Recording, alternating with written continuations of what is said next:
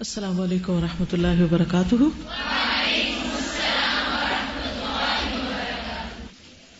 نحمد ونسلی علی رسول کریم اما بعد، فاعوذ باللہ من الشیطان الرجیم۔ بسم اللہ الرحمن الرحیم۔ رب اشرح لي صدری ويسر لي امری۔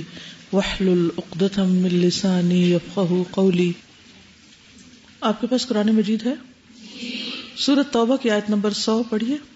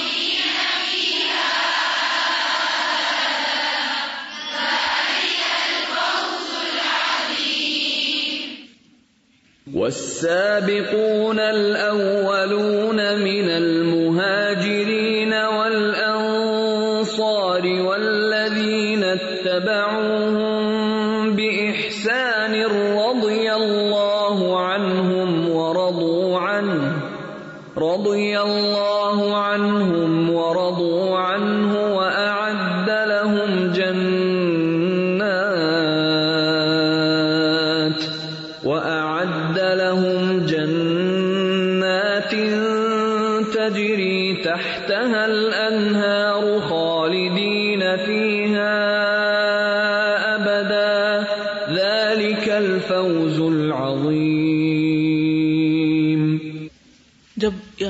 آپ لوگ پڑھ رہے تھے اور پھر سن رہے تھے تو میں مختلف لوگوں کے چہرے دیکھ رہی تھی کہ قرآن پڑھ کر یا سن کر ان کے اوپر کیا کیفیات تاری ہوتی ہے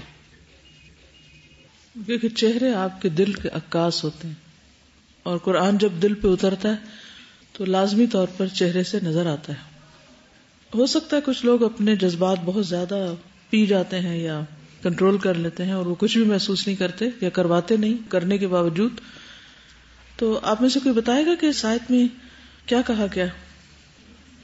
جنت کی خوشخبری دی گئی خوشخبری کس کے لیے؟ السابقون الاولون جو مہاجرین اور انصار دونوں میں سے ہیں۔ ٹھیک؟ اور کس کے لیے؟ والذین اتبعوہم، ان لوگوں کے لیے جنہوں نے ان کی پیروی کی۔ کیسی پیروی؟ بے احسان احسان کے درجے میں، احسان کے ساتھ، اچھے طریقے سے۔ تو سابقون الاولون کے لیے بھی اور والذین اتبعوہم بے احسان کے لیے بھی اللہ تعالی کی طرف سے کیا خوشخبری ہے؟ رضی اللہ عنہم وردو عن۔ اللہ ان سے راضی ہو گیا اور وہ اس سے راضی۔ اور ان کے لیے کیا ہے جن سے اللہ راضی ہو گیا؟ وَأَعَدَّ لَهُمْ جَنَّاتٍ تَجْرِي تَحْتَهَا الْأَنْهَارُ خَالِدِينَ فِيهَا أَبَدًا۔ کیسی ہیں وہ جنتیں؟ کہ جن کے نیچے نہریں بہتی ہیں اور جن میں وہ ہمیشہ رہیں گے، ہمیشہ کی زندگی۔ ذالک الفوز العظیم، یہ ہے عظیم کامیابی، عظیم الشان کامیابی۔ تو اگر ہم پیچھے سے شروع کریں، عظیم الشان کامیابی کیا ہے؟ جنت کا حصول اور ہمیشہ کی کامیابی، ابدی کامیابی۔ وہ کس کے لیے ہے؟ جن سے اللہ راضی ہو جائے۔ اللہ کن سے راضی ہے؟ جو نیکی کے راستے میں دوڑ لگائیں۔ وہ سابقون سابقون کے لیے۔ الاولون، جو سب سے پہلے کام کریں۔ پیچھے نہ رہ جائیں۔ خواہ مہاجر بن کے کریں، خواہ انصار بن کے کریں۔ خواہ گھر چھوڑنے والے ہوں یا کسی گھر چھوڑنے والے کو پناہ دینے والے ہوں۔ اور جو لوگ ان کے نقش قدم پر چلیں، ویسی زندگی بسر کریں جیسی انہوں نے کی۔ والذین اتبعوہم بإحسان۔ تو ان جیسی زندگی بسر کرنے کے لیے کیا ضروری ہے پھر؟ ہم ان کو جانیں۔ اور صرف اس نیت سے نہ جانے کہ ہم ان پہ فخر کرتے نہیں کہ وہ بہت اعلی ترین قسم کے لوگ تھے۔ یہ اتباع کب تک جاری رہے گا؟ قیامت تک۔ والذین اتبعوہم جو ان کو اپنا رول ماڈل سمجھیں گے، جو ان کے نقش قدم پر چلیں گے۔ ایک تو ہمارے لیے اتباع رسول صلی اللہ علیہ وسلم ضروری ہے، اور اس کے بعد جو ان کے ساتھی تھے، جو ان کے کمپینئنس تھے، مرد ہوں یا عورتیں، جنہوں نے اللہ کے رسول صلی اللہ علیہ وسلم کی پیروی آگے بڑھ کر کی۔ اگر ہم آج ان کے طریقوں پر چلیں گے، تو ہمارے لیے بھی وہی ہے جو ان کے لیے ہے۔ رضی اللہ عنہم و ردوان اور الفوز العظیم۔ لیکن رضا اور فوز العظیم کے لیے پہلے ہمیں کچھ کرنا ہے۔ اب ہم کیا کریں؟ کیا نہ کریں؟ ان کی زندگیوں کو دیکھیں۔ انہوں نے کیا کیا؟ اس سوچ اور اس مقصد کو ذہن میں رکھ کے سیرت پڑھا کریں۔ جب یہ آج سن رہے تھے تو آپ میں سے کوئی اپنا ایکسپیرینس بتایا کہ کیا سوچ رہے تھے؟ کیا خیال آ رہا تھا؟ ہوں شاباش، انہوں نے فوراً دعا کی کہ اللہ تعالیٰ مجھے بھی ان لوگوں میں شامل کر دے۔ آئی تھاٹ کہ کتنے لکی تھے وہ لوگ۔ اللہ ہمیں بھی ان جیسا بنائے اور ہمیں بھی اس جنت میں داخل کر دے جس میں وہ داخل ہوں گے۔ ہوں؟ یہ کیسے ہو سکتا ہے کہ وہ تو اتنی قربانیاں کر کے وہاں پہنچے اور ہم سو سو کے اور بغیر قربانیوں کے ہی وہاں داخل ہو جائیں؟ کیا ہر جگہ پہ ہر کوئی داخل ہو جاتا؟ ہے وہ دروازے کس کے لیے کھولے جائیں گے؟ جو اس کے اہل ہوں گے، جن کے لیے اللہ چاہے گا، جو ان جیسے کام کریں گے۔ اور وہ اللہ سے راضی ہو گیا، اللہ ان سے راضی ہو گیا۔ بہت اچھا لگ رہا تھا کہ اللہ ان سے راضی ہو گیا۔ کسی شخص کے لیے اس دنیا میں سب سے بڑی خوشی کی بات کیا ہو سکتی؟ کہ جس کو وہ چاہتا ہے، وہ اس سے راضی، وہ اس سے خوش۔ کیونکہ ہر ایک کی خوشی سے تو کوئی خاص فرق نہیں پڑتا۔ ساری دنیا بھی آپ کے لیے تالیاں بجائے تو تھوڑی دیر میں تالیوں کی آواز ختم ہو جائے گی۔ ہوں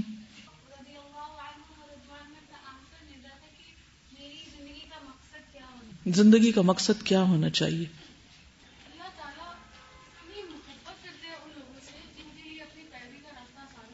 بالکل۔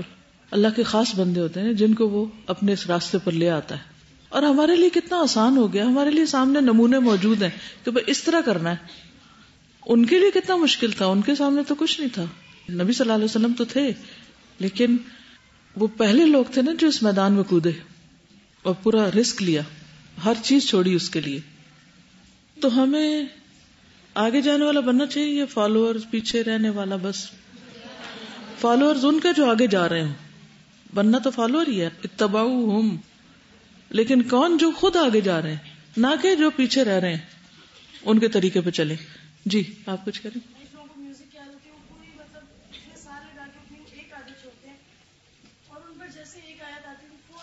فوراً عمل کر لیتے۔ دیکھیے، سابق بننے کے لیے کیا کیا شرائط ہے کیا ضروری ہوتا ہے؟ فور رنرس کون ہوتے ہیں؟ امیڈیٹ ایکشن رسک لے کے بھی آگے. سمے نہ و اتانا. فوکسڈ کانشیس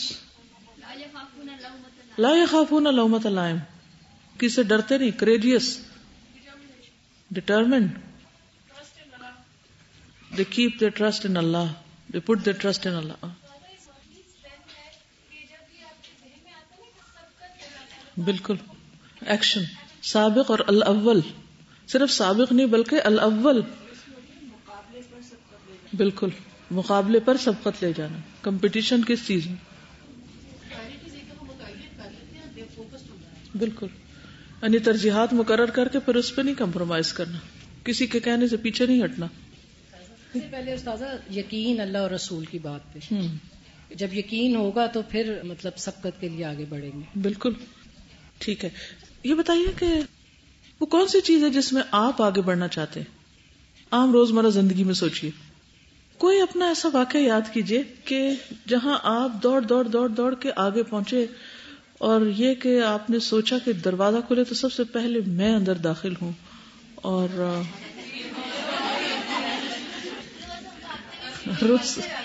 ٹھیک ہے۔ ہوں یونیورسٹی کا پوائنٹ۔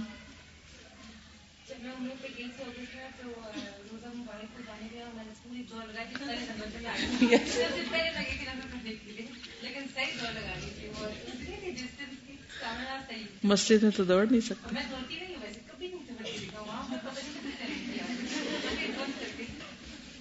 اس میں کتنی تھرل بھی ہوتی ہے نا۔ آگے جانا آگے جانا آگے جانا۔ اس پہ راضی نہیں، اور آگے جانا اور آگے جانا ہے۔ اپنے بارے میں سوچیے، وہ کون سی چیزیں ہیں کہ جن میں میں چاہتی ہوں کہ اور آگے بڑھوں؟ اور آگے جاؤ اور آگے جاؤ اور اونچا اور اونچا۔ سوچا کیجیے ٹھیک ہے نا؟ تو جس انسان کے اندر یہ جذبہ پیدا ہو جاتا ہے نا، آگے جانے کا شوق پیدا ہو جاتا ہے، تو پھر وہ اس کے مطابق زندگی بسر کرتا ہے۔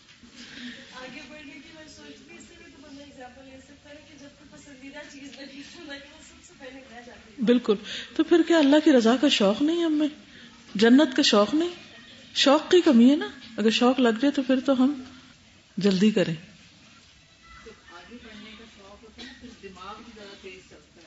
بالکل۔ تو متحرک ہو جائیں۔ سست بیٹھنے والے آگے نہیں جاتے۔ کچھ لوگوں کی دوڑ آخرت کے لیے ہوتی ہے اور کچھ کی دوڑ دنیا کے لیے ہوتی ہے۔ ٹھیک ہے؟ دوڑتے سبھی ہیں۔ کیونکہ اللہ نے دوڑنے والا بنایا ہے۔ تو ایک چھوٹی سی چیز پہلے شیئر کروں گی، پھر اس کے بعد میں آپ سے بات کروں گی آج کی صحابیہ کے بارے میں۔ کیونکہ دوڑنے کی بات ہو رہی ہے نا، تو مختلف قومیں، مختلف افراد کس طرح دوڑتے ہیں؟ کن چیزوں کے لیے دوڑتے ہیں؟ کیسے کام کرتے ہیں؟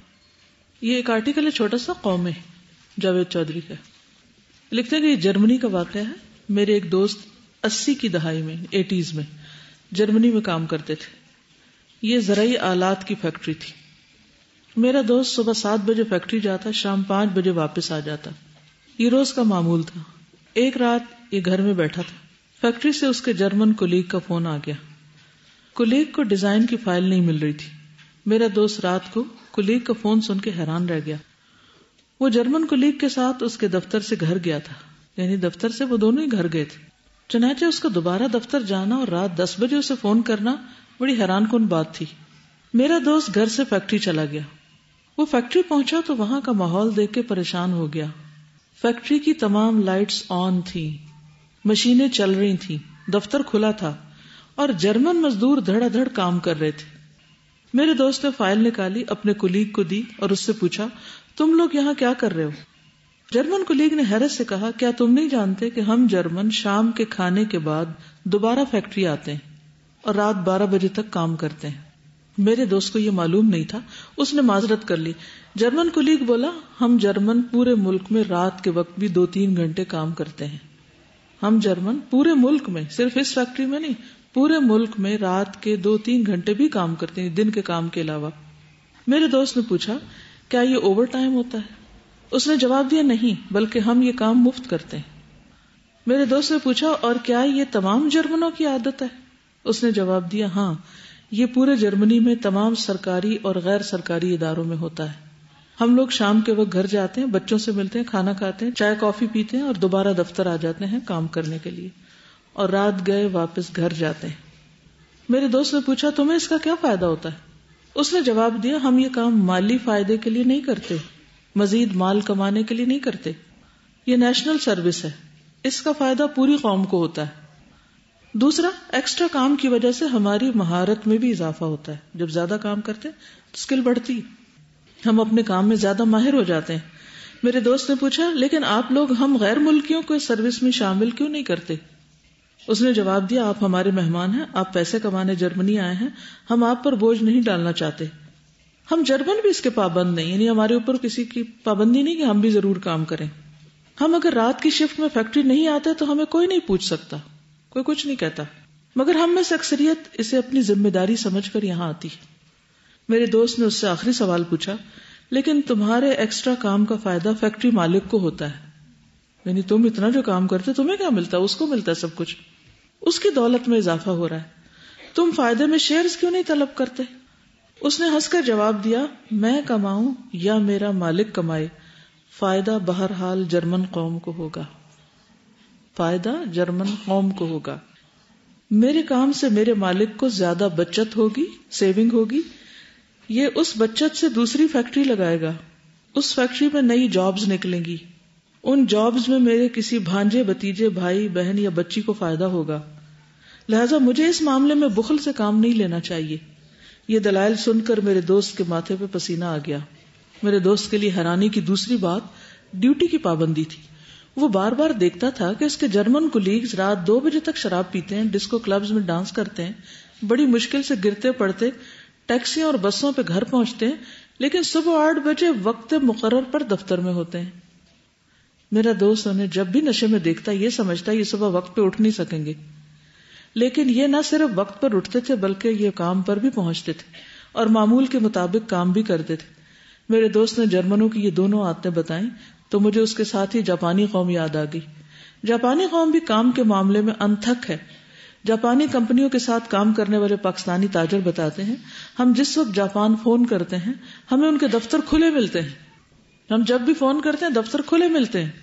اور دوسری طرف سے باقاعدہ رسپانس بھی ملتا ہے۔ مجھے لاہور کے ایک دوست نے دلچسپ بات بتائی۔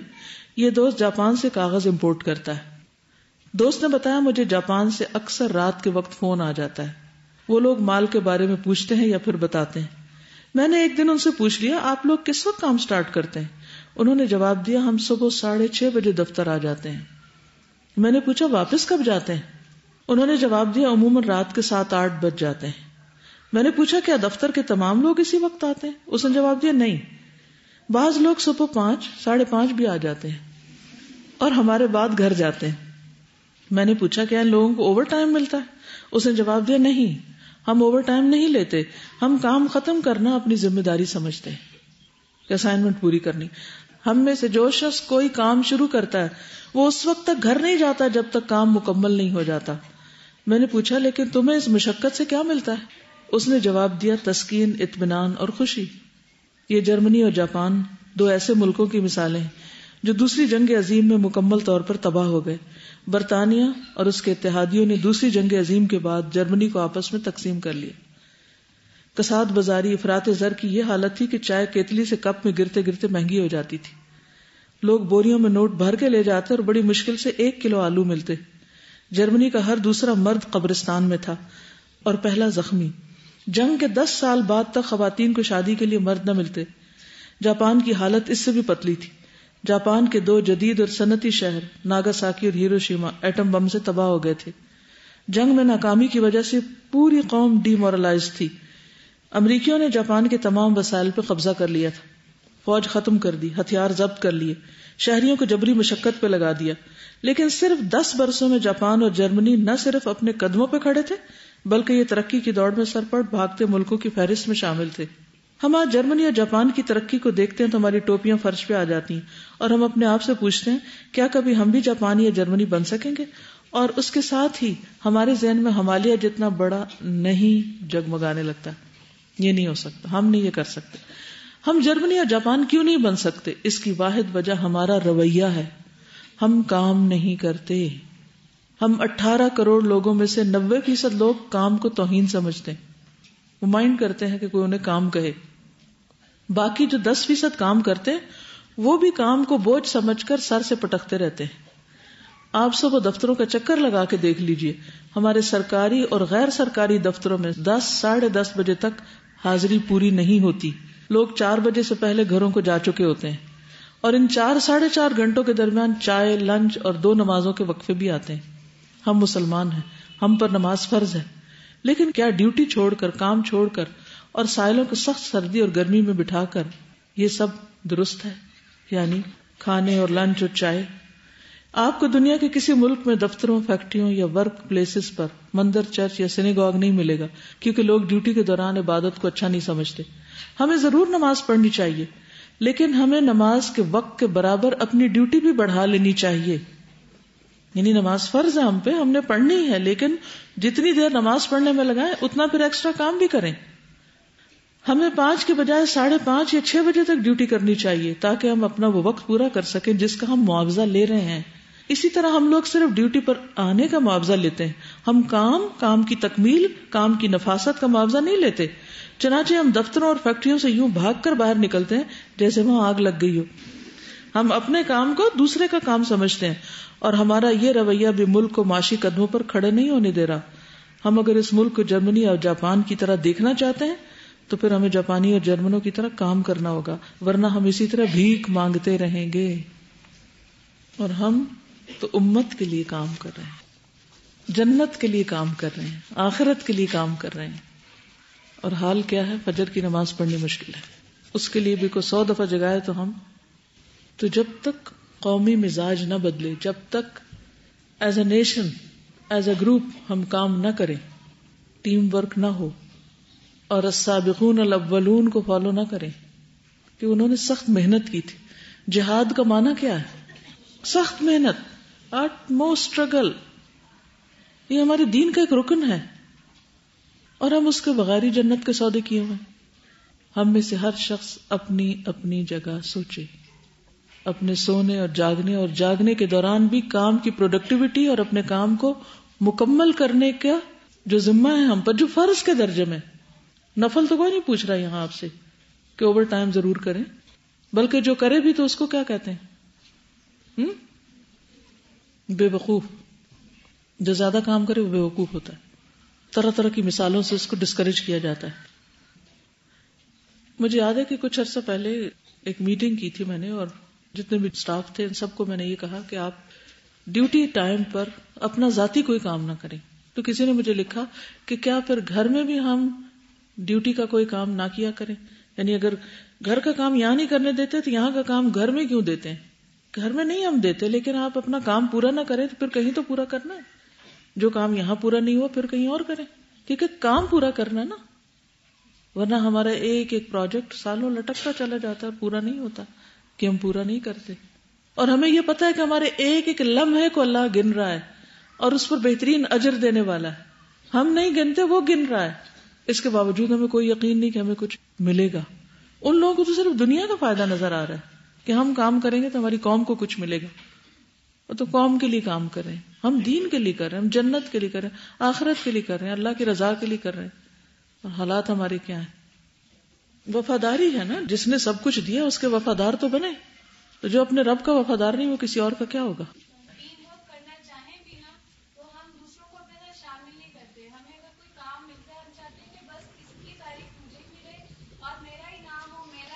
اور اگر کسی کا نام بن ہی گیا تو بس اس سے صرف حسد کرنا آتا ہے کام کرنا نہیں آتا محنت کرنی نہیں آتی پھر بھی۔ یہ نہیں دیکھتے کہ وہ کیا کر رہا ہے۔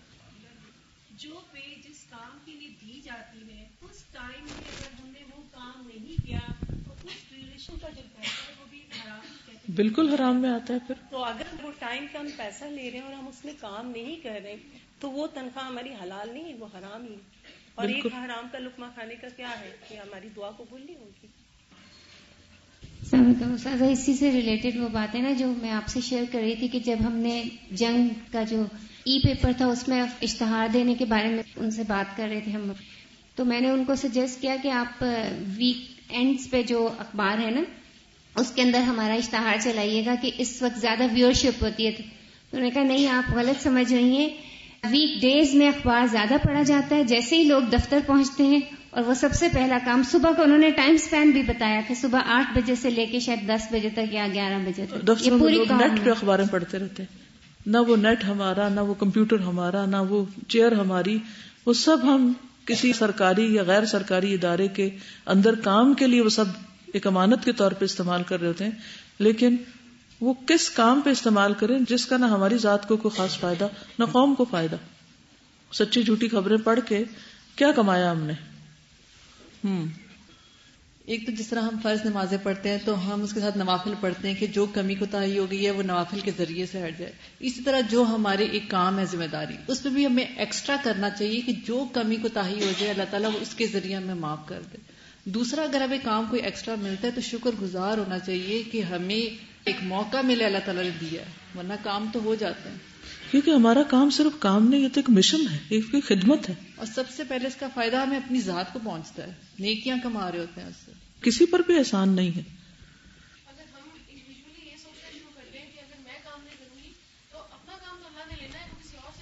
بالکل۔ پھر وہ قومیں کر رہی ہیں نا کام۔ آگے بڑھ رہے ہیں۔ پھر ہماری گردنیں ان کے ہاتھوں میں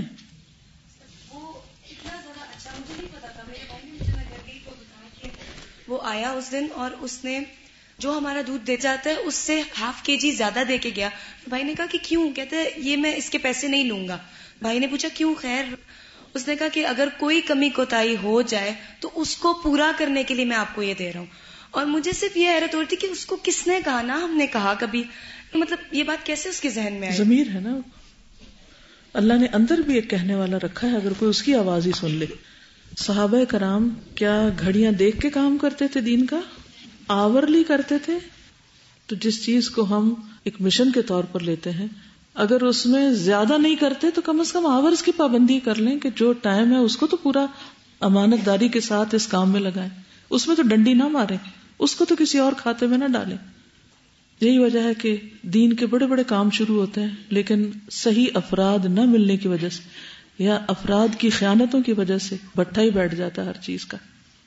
اب آپ دیکھیں کہ قائد اعظم دن رات محنت کر کے انہوں نے اگر ایک ملک حاصل کیا تو ان کے ساتھیوں نے اور ان کے جو پیچھے والے لوگوں اور ہم جیسے لوگوں نے کیا کیا ملک؟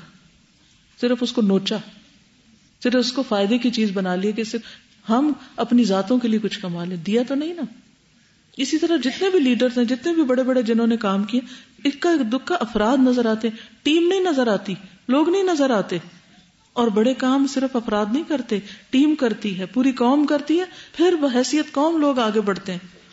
ہمارے یہاں گھروں میں بھی یہ رواج ہے، ایک کمائے سب کھائیں۔ اداروں میں بھی یہ رواج ہے، ایک کام کرے، باقی آرام کرے۔ ہر فرد ہے ملت کے مقدر کا ستارہ۔ بعض اوقات یہ ہوتا ہے کہ ہماری کوئی اسکلز ہوتی ہیں، ہم کام کر سکتے ہوتے ہیں، ہمارے پاس وقت بھی ہوتا ہے، لیکن ہم اپنے آپ کو آفر نہیں کرتے کہ پھر تو میرے اوپر کام آ جائے گا۔ کام سے ڈرتے ہیں ہاں؟ اور کسی کو نہیں بتاتے۔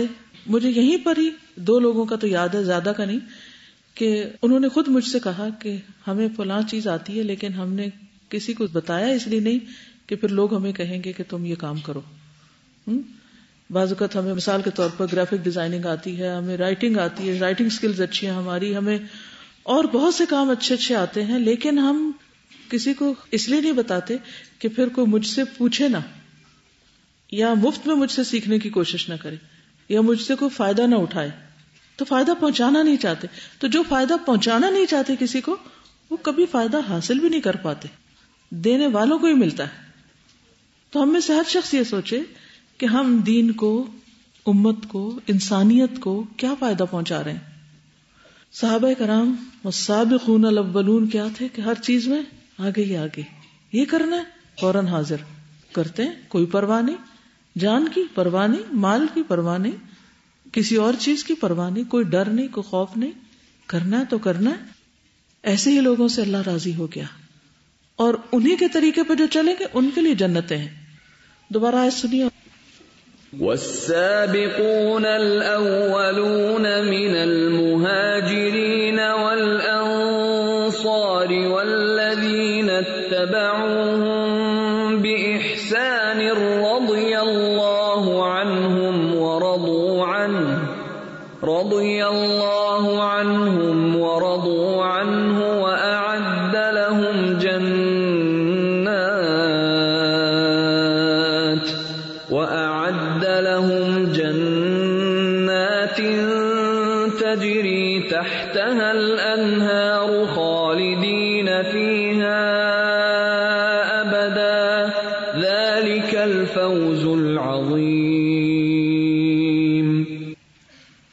ایسی کامیابی ہے جس کے بعد کبھی ناکامی ہے ہی نہیں۔ کوئی غم ہے ہی نہیں، کوئی پریشانی ہے ہی نہیں۔ آگے چلتے ہیں حضرت سلمہ کے بارے میں۔ سید سلمہ بنت امیس رضی اللہ عنہا۔ نام ان کا سلمہ ہے، والد کا نام امیس بن سعد۔ والدہ کا نام ہند بنت عوف ہے، یہ بنو کے نانا سے تھی۔ اور خود سلمہ کے والد جو تھے، یہ قبیلہ خط سے تھے۔ خا فا عین، میم۔ ان کی ایک ہمشیرہ نبی کریم صلی اللہ علیہ وسلم کی زوجہ محترمہ سیدہ میمونہ ہے دوسری ہمشیرہ عباس بن عبد المطلب کی بیوی ام الفضل۔ تیسری ہمشیرہ جعفر بن نبی طالب کی بیوی سیدہ اسما بنت امیس، جن کا آپ پیچھے پڑ چکے ہیں۔ جعفر کے بعد ان سے کس نے شادی کی تھی؟ ابو بکر رضی اللہ تعالیٰ عنہ۔ اس کے بعد علی رضی اللہ تعالیٰ عنہ۔ جی ہاں۔ سیدہ سلمہ کی شادی اللہ اور رسول کے شیر سیدنا حمزہ بن عبد المطلب کے ساتھ ہوئی، جنہیں سید الشہداء ہونے کا اعزاز حاصل۔ اچھا، شہید ہونے کی بات ہے نا؟ ہم سب کی تمنا ہوتی ہم شہید ہوں۔ تو ایک شعر میں نے کہیں پڑھا تھا کہ جی چاہتا ہے شہید ہو جاؤں، پر سنا ہے جان سے مار دیتے ہیں۔ یعنی تمنا ہے ہماری بڑی بڑی، لیکن جان دینے کو راضی نہیں یعنی جان لگانے کو کسی بھی کام میں قربانی نہیں کر سکتے۔ ان تمام بہنوں کے لیے یہ فضل اور شرف ہی کافی ہے۔ کہ رسول اللہ صلی اللہ علیہ وسلم نے ان کے مومن ہونے کی گواہی اپنی زبان مبارک سے بیان کی کہ یہ ان الاخوات لمؤمنات، یہ ساری بہنیں مومن بہنیں یعنی بحثیت ان کی as a sister they are believers ایمان ایک ایسا وصف ہے جس کی وجہ سے انسان سب سے اعلیٰ اور عرفہ مرتبے پر فائز ہو جاتا ہے۔ عبداللہ بن عباس بیان کرتے ہیں کہ رسول اللہ صلی اللہ علیہ وسلم نے فرمایا، ان الاخوات لمؤمنات بے شک تمام بہنیں مومن ہیں۔ ایک دوسری روایت میں ہے، الاخوات الاربع مؤمنات میمونت و ام الفضل ابنتا الحارث و سلمہ و اسما ابنتا عمیس۔ یہ چاروں بہنیں مومن ہیں۔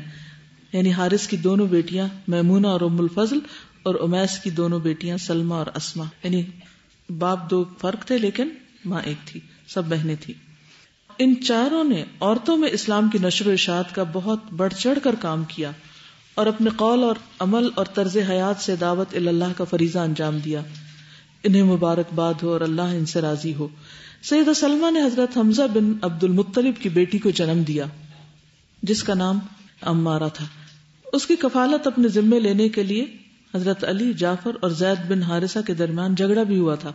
ابو داود بن نافع بن جبیر اپنے باپ سے اور وہ سیدنا علی سے بیان کرتے ہیں کہ زید بن حارثہ مکہ کی طرف روانہ ہوا۔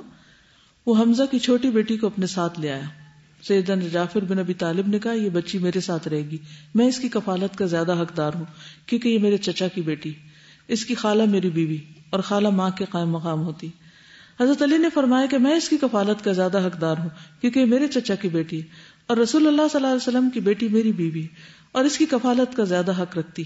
زید بن ہارسا نے کہا، اس بچی کی کفالت کا میں زیادہ حق رکھتا ہوں، کیونکہ میں اسے مکہ سے لے کر آیا ہوں۔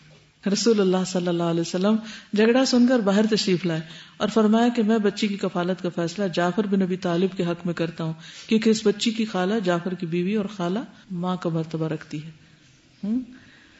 سیدنا علی فرماتے ہیں کہ جب ہم مکہ مزمہ سے نکلے، ہمارے پیچھے حمزہ کی ننی بچی چچا چچا کہتی ہوئی آئی۔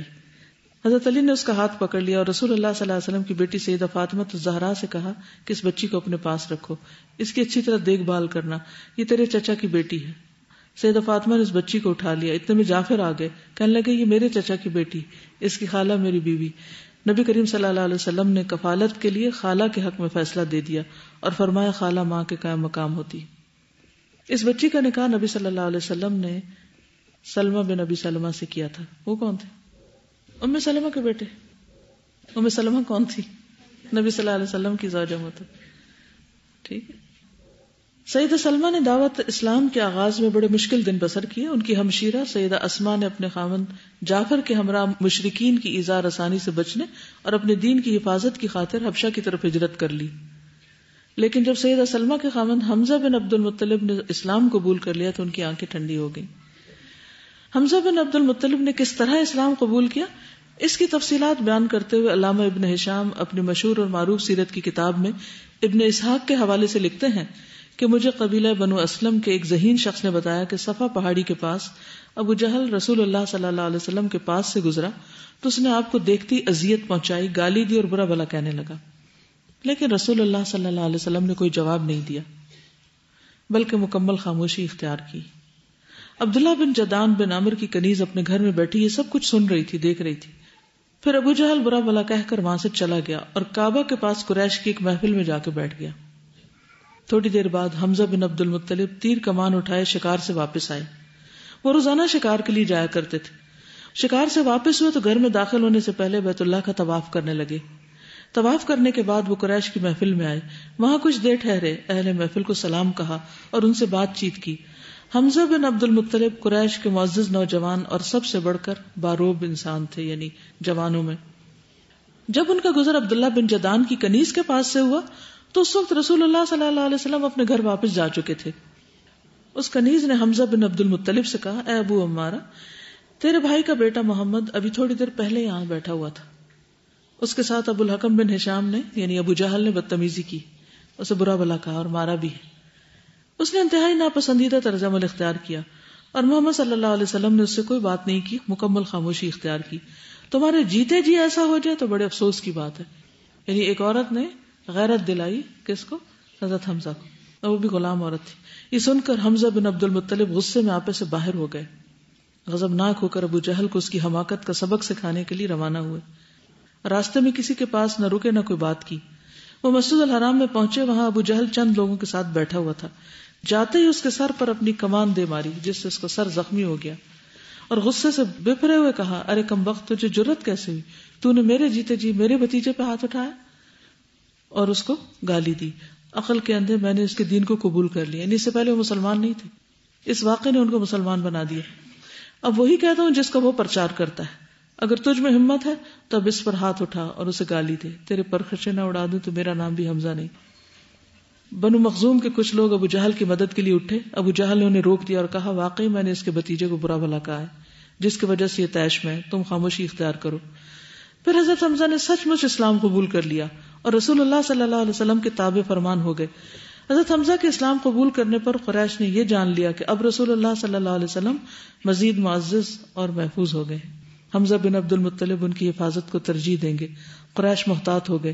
اور ان ریشہ دوانیوں سے باز آ گئے جو سیدنا حمزہ کے اسلام قبول کرنے سے پہلے وہ محمد صلی اللہ علیہ وسلم کے ساتھ کیا کرتے تھے۔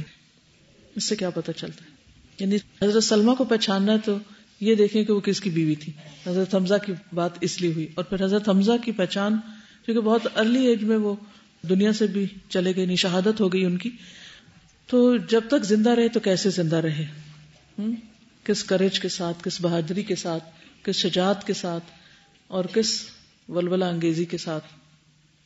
ہوں اس واقعے سے کیا بات سیکھی آپ نے؟ کیا سبق سیکھا؟ ہم بہت سے کام کرنا چاہتے ہیں، کیوں نہیں کر سکتے؟ السابقون الاولون انہیں میں سے حضرت حمزہ بھی ہے نا؟ بالکل اول دور میں تو نہیں، لیکن مکہ میں ہی مسلمان ہوئے تھے اور جنگ عہد میں جا کر انہوں نے جس طرح جان دی اور جو ان کے ساتھ ہوا وہ سب آپ کے سامنے۔ تو کیوں نہیں کر پاتے؟ کچھ چیزیں ہمیں اچھی نہیں لگ رہی ہوتی، کچھ اچھی لگ رہی ہوتی، کچھ کرنا چاہتے ہیں، کچھ چیزوں سے روکنا چاہتے ہیں۔ مثلا کسی نے مجھ سے کہا کہ آپ نے امر بالمعروف اور نئی انل منکر کی بات کی ہے۔ تو بعض اوقات ہم کسی گاڑی میں سوار ہوتے ہیں، وہاں گانے لگے ہوتے ہیں، لیکن ہم کسی کو منع نہیں کر سکتے کیونکہ ہمیں یہ ہوتا ہے کہ وہ ڈرائیور باز نہیں آئیں گے یا ہمیں کچھ برا بلا کہیں گے۔ لیکن بہت سے لوگوں نے اپنا ایکسپیرینس بتایا کہ انہوں نے بات کی اور انہوں نے یا گانے بند کر دی یا تلاوت لگا دی یا کچھ اور۔ تو وہ کون سی کوالٹی جو ہمارے اندر نہیں ہوتی تو ہم کچھ نہیں کر پاتے؟ کریج کانفیڈینس لوگوں سے ڈرتے رہتے، خوف.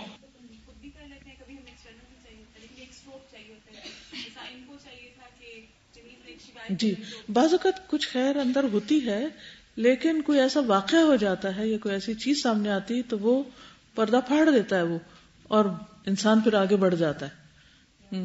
آپ جی یہ جو منفی سوچ ہے نا، ہم نہیں کر سکتے۔ ابھی یہ جو آرٹیکل میں بھی، کہ اگر کوئی کہے کہ پاکستان کو اگر ایسا ملک بنانا ہے، ایسی ترقی کرنی ہے تو کام کرنا ہوگا، تو وہ پہلے کیا سوچیں گے؟ جان سے مار دیتے ہیں۔ جی۔ بالکل۔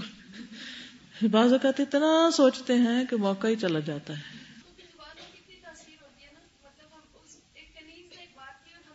یس شابش گڈ پوائنٹ اب دیکھیں کہ ایک عورت کی بات کے اندر ایسی تاثیر ہوتی ہے بعض اوقات، وہ غلام عورت تھی اور ایک کنیز تھی، لیکن اس کے دل سے نکلی ہوئی بات تھی، اس نے وہ منظر دیکھا تھا اور وہ منظر اس نے بیان کیا، کسی اور نے نہیں۔ اور اس بات کا حضرت حمزہ کے دل پہ اثر ہو گیا، جیسے حضرت عمر کو مسلمان کرنے والی کون تھی۔ حضرت عمر بھی بہت بہادر انسان تھے نا۔ اچھا ہم بہادروں سے صرف ڈر ہی جاتے ہیں۔ کہ ان کو نہیں کچھ کہنا۔ ان کی بہادری ہم پہ نہ آ جائے۔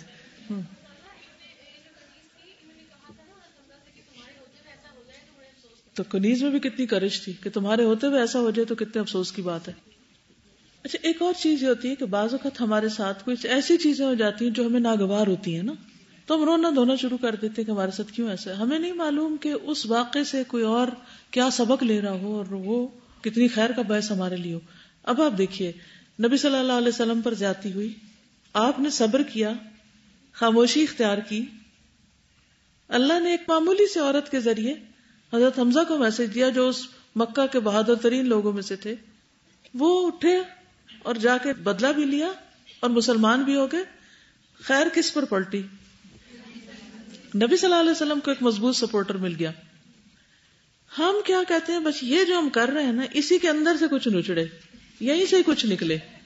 آپ خیر کا کام کرتے جائیں اور اس رستے میں اگر کوئی تکلیف آتی ہے تو برداشت بھی کر لیں۔ وہ خیر آپ پہ ہی لوٹنی ہے۔ جیسے ابھی بھی بات ہوئی نا، اگر ہم کو اچھا کام کریں گے تو وہ ہمیں ہی فائدہ دے گا۔ بظاہر وہ یوں لگتا ہے جیسے کسی اور کو فائدہ جا رہا ہے۔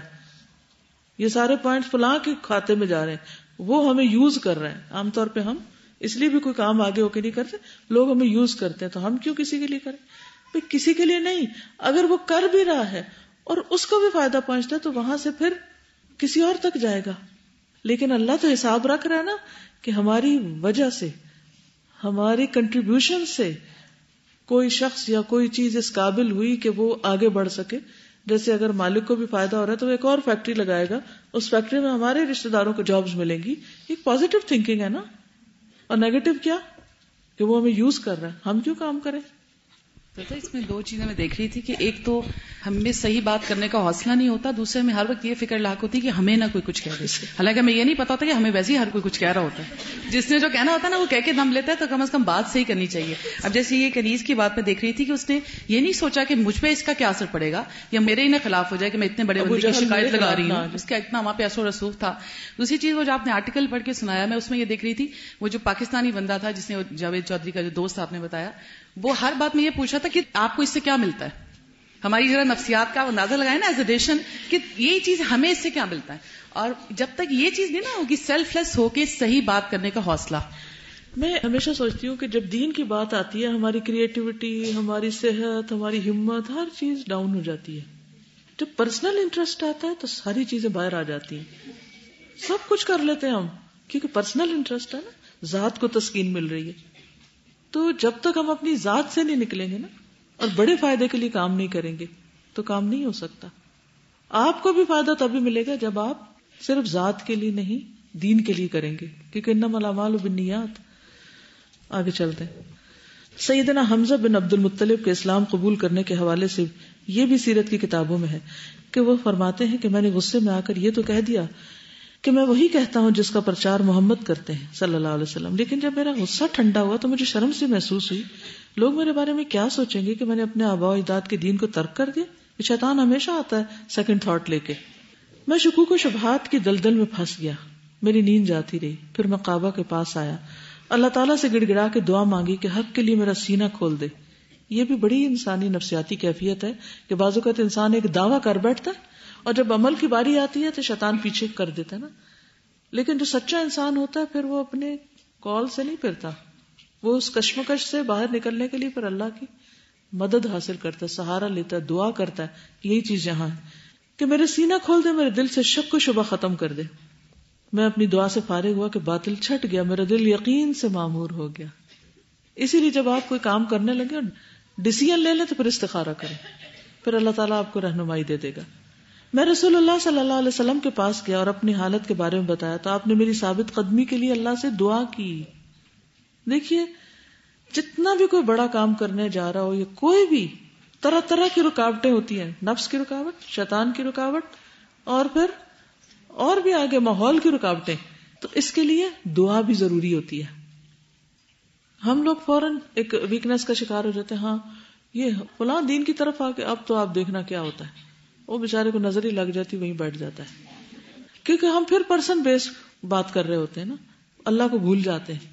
ہمیشہ اللہ سبحانہ تعالیٰ کو یاد رکھنا چاہیے کہ اللہ کی دی توفیق سے اور اللہ تمہیں مزید استقامت دے۔ کوئی کتنا بھی اچھا کام کرے تو ساتھ ہی دعا دے کہ اللہ اور زیادہ کرنے کی توفیق دے۔ صرف تعریف کر کے نہ چھوڑ دے جب سیدنا حمزہ نے اسلام قبول کیا تو یہ اشار کہ حمد اللہ حین ہدا فؤادی الى الاسلام والدین الحنیفی لدین جاء من رب عزیز خبیر بالعباد بهم لطیف اذا تلیت رسائله علینا تحدر دمع باللب الحصیف رسائل جاء احمد من هداها بآیات مبینت الحروف میں نے اللہ کی تعریف کی جب اس نے میرے دل کو اسلام اور دین حنیف کی ہدایت نصیب کی. وہ دین جو غالب رب کی طرف سے آیا، وہ رب جو اپنے بندوں سے بڑا باریک بینی کے ساتھ باخبر ہے. جب اس کے پیغامات ہمیں پڑھ کر سنائے جاتے ہیں تو عقل مند کے آنسو بہنے لگتے ہیں۔ عقلمند روتے ہیں۔ ایسے پیغامات جو محمد صلی اللہ علیہ وسلم واضح آیات کے ساتھ لے کر آئے ہیں یعنی دلائل کے ساتھ لائے سیدہ سلمہ اپنے خاون سیدنا حمزہ کے ساتھ اسلام کے سایہ دار آنگن میں سعادت کے جام نوش کرتے ہوئے زندگی بسر کر رہے تھے۔ حضرت حمزہ ابھرتے ہوئے شہزور جوان رانا تھے۔ اسلام قبول کرنے کی وجہ سے ان کے روب، دبدبے اور وقار میں بے پناہ اضافہ ہو گیا۔ یہی وجہ ہے کہ ابو جہل باوجود جب سیدنا حمزہ نے اسے زخمی کیا تو اس نے بالکل خاموشی اختیار کر لی اور کوئی بات نہیں کی۔ اسلام نے سیدنا حمزہ کی طاقت، روب اور دبدبے میں بے پناہ اضافہ کر دیا تھا اور جو لوگ ان کو ایک کے مقابل سمجھتے تھے، اب ہزار کے برابر جانتے تھے۔ کیونکہ ایمان جو ہے وہ انسان کو اور بہادر کر دیتا ہے۔ اب ان کی ہجرت ہوتی ہے مدینہ کی طرف۔ جب اللہ سبحان و تعالیٰ نے اپنے رسول مقبول صلی اللہ علیہ وسلم کو مدینہ منورہ کی طرف ہجرت کرنے کی اجازت دے دی، تو حضرت سلمہ بھی اپنے خامند حضرت حمزہ کے ساتھ مدینہ منورہ کی طرف ہجرت کر گئی رسول اللہ صلی اللہ علیہ وسلم نے مدینہ پہنچنے کے بعد سب سے پہلا کام مسجد نبی کو تعمیر کرنے کا کیا اور اس کے ساتھ ازواج متحرات کی رہائش کے لیے حجرے تعمیر کیے۔ پھر غزوہ بدر ہوا، اس میں سیدنا حمزہ نے حیرت انگیز کارنامے سر انجام دیے۔ جنگ بدر میں بہت سے سرکردہ مشرقین تحقیق کر دیے، جن میں شیبہ بن ربیہ سر فہرست تھا۔ پھر حضرت علی بن نبی طالب اور سیدنا حمزہ نے مل کر اتبا بن ربیہ کو قتل کیا، جسے عبادہ بن حارث نے زخمی کیا تھا۔ جنگ بدر میں مسلمانوں کو فتح نصیب ہوئی۔ قریش کے ستر سرکردہ قائد تحت کر دیے گئے، ستر کو گرفتار کیا گیا اور قریش نے یہ ٹھان لی کہ جنگ عہد میں اپنے مقتولوں کا بدلہ لیں گے۔ ہند بن اتبا کے باب چچا اور بھائی کو جنگ بدر میں قتل کر دیا گیا تھا۔ اس نے وحشی بن حرب نامی غلام کو بھاری انعام کا لالچ دے کر اس بات پر آمادہ کیا تھا کہ اگر وہ میرے باپ، چچا اور بھائی کے بدلے میں حمزہ بن عبد المطلب کو قتل کر دے تو اسے منہ مانگا، انعام دوں گی۔ وحشی بن حرب نیزے کو استعمال کرنے کا بہت ماہر تھا۔ وہ انعام کے لالچ میں آخر میدان جنگ میں اترا اور حضرت حمزہ کی حرکات و سکنات کو بڑی گہری نظر سے دیکھنے لگا۔ یعنی اس کا اور کوئی کام نہیں تھا، وہ ایک ہی شخص کے پیچھے تھا۔ اس نے دیکھا کہ حضرت حمزہ مشرقین کے پکچے اڑا رہے جب وہ لڑتے ہوئے اس کی زد میں آیا تو اس نے پورے زور سے نیزا مارا، جو حضرت حمزہ کے پیٹ میں پابست ہو گیا۔ اسی سے وہ شہید ہو کر زمین پر گر پڑے۔ اسی وقت ہند دوڑی آئی، جب اسے پتا چلا کہ وہ شہید ہو گئے۔ اس نے حضرت حمزہ کا پیٹ چاک کیا، ان کا جگر نکالا چبا کے تھوک دیا۔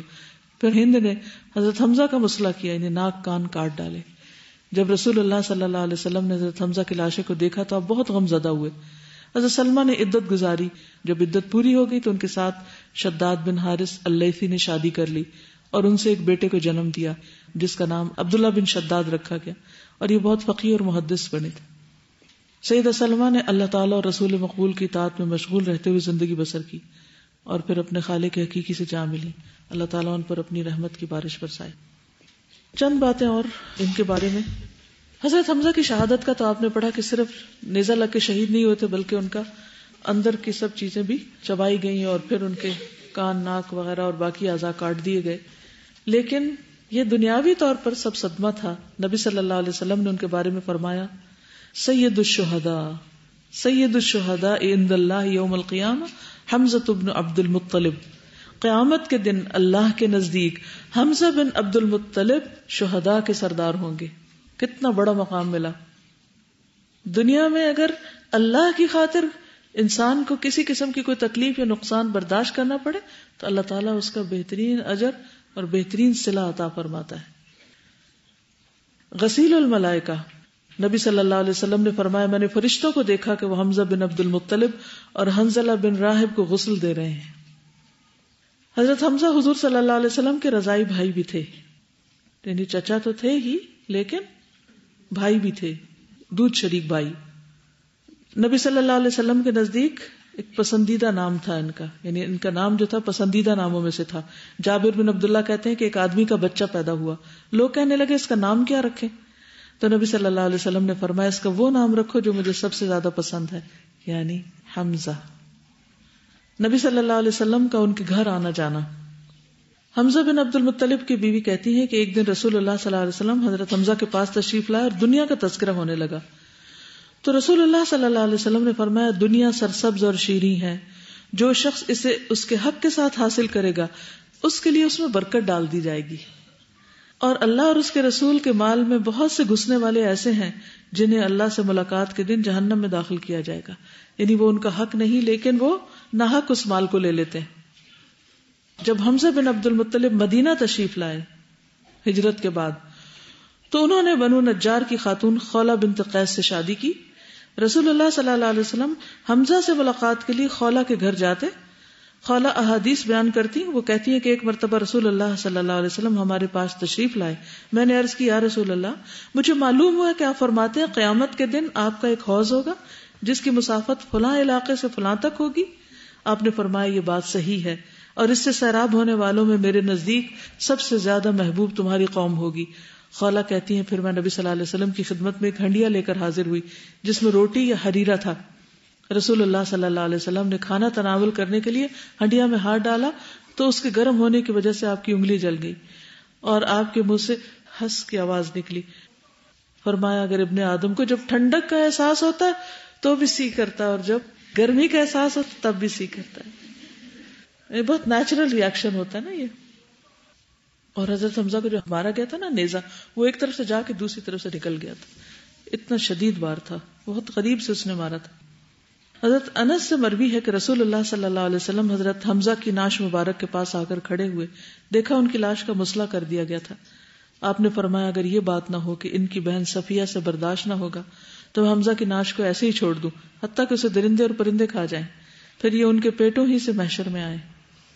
یعنی ایسی موت بھی اور اس طرح چلے جانا بھی کوئی نقصان کا سودا نہیں اگر اللہ کے راستے میں ہو۔ یعنی ہم سمجھتے نہیں کہا بےچارا اس کے ساتھ یہ ہو گیا، کچھ نہیں بچا اس کا۔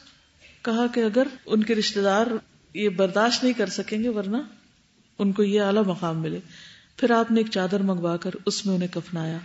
جب چادر سر پہ ڈالی جاتی تو پاؤں کھل جاتے، جب پاؤں پہ ڈالی جاتی تو سر کھل جاتا۔ لیکن یہ شہیدوں کے بھی سردار ہوں گے۔ آخرت میں اتنا بڑا مقام۔ دنیا کی کوئی بھی چیز کم ہو جائے تو کیا ہوا؟ جان چلی گئی، جسم مس کر دیا گیا۔ کفن پورا نہیں ملا۔ کچھ کھویا؟ کیا کھویا؟ کیا وہ بیچارے تھے؟ ہم ایسی چیزوں پہ اپنے آپ کو بیچارہ سمجھنے لگتے ہمارے پاس یہ نہیں ہے، وہ نہیں۔ وہ سب سے زیادہ کامیاب تھے۔ الفوز العظیم کو پا گئے۔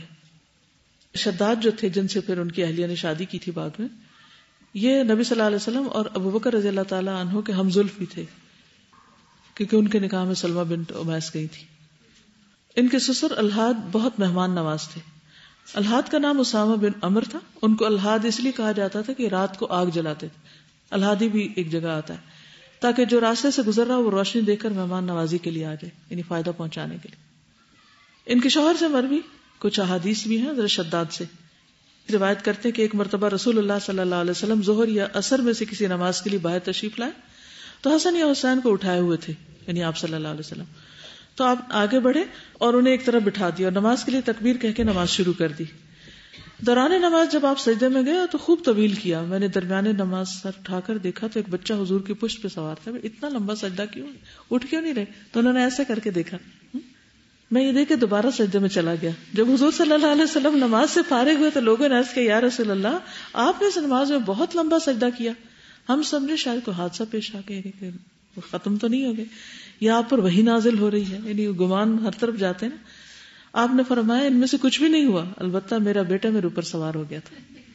اور میں نے اسے اپنی خواہش کی تکمیل سے پہلے جلدی میں مبتلا کرنا اچھا نہ سمجھا۔ بچوں کو ٹائم دینا چاہیے۔ ہم ذرا سی بات بتاتے ہو نہیں کرتے تھے، ہم جلدی کر کیوں نہیں کر رہے؟ فوراً کرو، ابھی کر لو۔ آپ نے نماز ڈیٹ کر دی کہ یہ اپنا ٹائم لے لے۔ ہم؟ میں سے کتنوں میں یہ پیشنس ہے کہ ان کو یہ ٹائم دیتے اچھا کر لو، کوئی بات نہیں۔ ان کا بیٹا جو عبداللہ بن شداد تھے، جو حضرت سلمہ کے جو بیٹے تھے، یہ امام اجلی اور خطیب بغدادی کہتے ہیں یہ کبار اور سقط آبین میں سے تھے۔ فقیح اور کثرت سے حدیث روایت کرنے والے تھے، محدث تھے۔ اور پھر ان کے اساتذہ کرام، یہ جن سے انہوں نے روایات کی، وہ پہلے تو ان کے اپنے والد، پھر حضرت عمر، پھر طلحہ، معاذ، عباس ابن مسعود ابن عباس ابن عمر، عبداللہ بن جعفر، اور یہ خالائیں اسما بنت امیس، میمونہ رضی اللہ تعالی عنہا، اور ان کی بہن اور حضرت حمزہ کی بیٹی، حضرت عائشہ اور حضرت ام سلمہ، ان سب سے انہوں نے روایت کیا ہے۔ پھر کتب ستہ کے راوی بھی ہیں۔ عبداللہ بن شداد سے مروی ہے کہ میمونہ رضی اللہ عنہا نے کہا کہ نبی صلی اللہ علیہ وسلم چھوٹی چٹائی پر نماز پڑھا کرتے تھے جس سے پتہ چلتا ہے مسلح بچایا جا سکتا ہے۔ پھر اسی طرح عبداللہ بن شداد کہتے ہیں، ان سے یعنی جو بیٹے تھے، ان کے ان سے روایت ہے کہ حضرت عائشہ نے بیان کیا کہ رسول اللہ صلی اللہ علیہ وسلم نے مجھے حکم دیا کہ نظر بد لگ جانے پر معوضتین سے دم کر لیا جائے۔ یعنی یہ دو صورتیں بھی کافی ہو جاتی ہیں۔ ان کی بیٹی سے بھی احادیث مروی ہیں۔ عبداللہ بن شداد حمزہ رضی اللہ عنہ کی بیٹی سے روایت کرتے ہیں یہ عبداللہ کی ماں کی دودھ شریک بہن ہے۔ فرماتی ہے کہ میرا آزاد کردہ غلام مر گیا، اس نے ایک بیٹی چھوڑی تو رسول اللہ صلی اللہ علیہ وسلم نے اس کا مال میرے اور اس کی بیٹی کے درمیان تقسیم فرمایا۔ آدھا مجھے دیا اور آدھا اسے دے دیا۔ تو یہ ہے یہ خاندان جو اپنے آثار چھوڑ گیا۔ ہم بھی سوچیں کہ ہم کیا آثار چھوڑ کے جا رہے ہیں۔ سبحانک اللہم و بحمدک، اشہد ان لا الہ الا انت استغفرک و اطوب الیک. السلام علیکم و رحمۃ اللہ وبرکاتہ.